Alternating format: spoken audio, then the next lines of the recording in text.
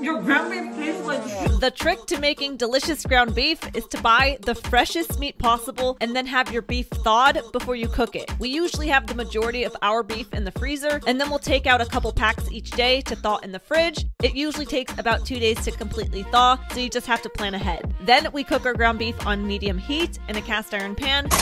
Mash that mother up into all its smallest bits and pieces. Add some Flava Flav if that's your thing. Don't forget to scoop out all that healthy saturated beef fat. Add salt. Perfection. Stay tuned to see how I avoid meat comas.